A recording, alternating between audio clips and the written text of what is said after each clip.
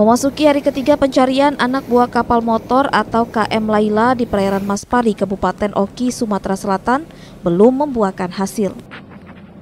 Hingga kini petugas belum menemukan tanda-tanda keberadaan korban.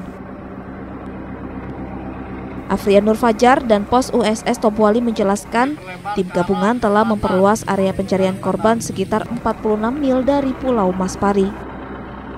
Ia mengatakan pencarian korban terkendala sinyal dan cuaca ekstrim yang melanda wilayah tersebut.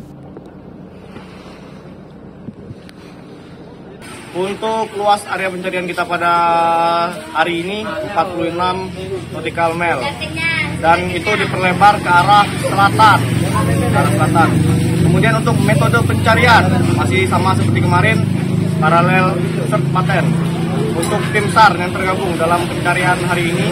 Yang pertama, Dit Pol Airut, Polda Kepulauan Babel. Kemudian Pol Air, Polres Basel.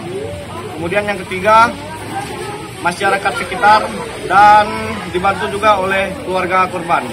Kebetulan di sini ada keluarga korban, paman dari korban.